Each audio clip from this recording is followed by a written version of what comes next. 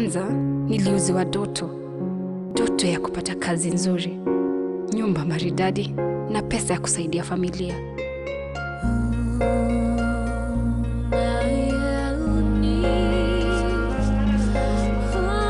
Niliondoka kwetu kijijini, nikawacha kila kitu ili nifuate doto hiyo.